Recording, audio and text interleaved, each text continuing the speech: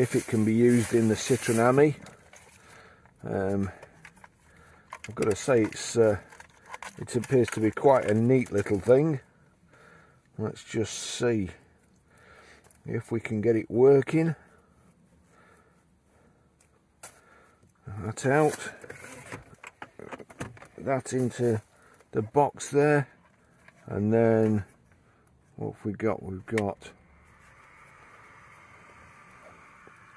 it's not not a badly made thing. Plus, again in the Ami, if it was mounted on the dash or somewhere near, you can then turn it to do the side windows. When that's done, turn it back towards you. That's, uh, I would say that's cool there. Let's try that. That air seems quite warm.